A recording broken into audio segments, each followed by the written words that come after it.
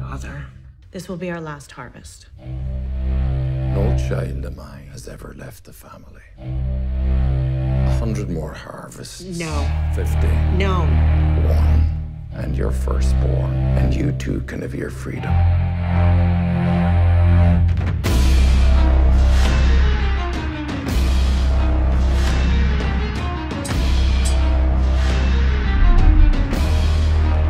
This must be the chef. You will cook us a most exquisite meal, and you will poison the host.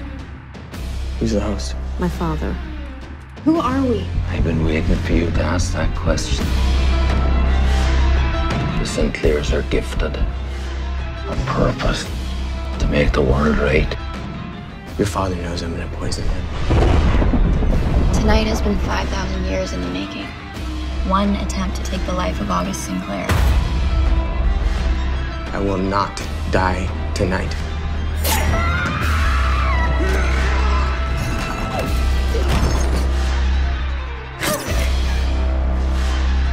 We die on the traitors tonight. A toast, good family, good drink, and great food.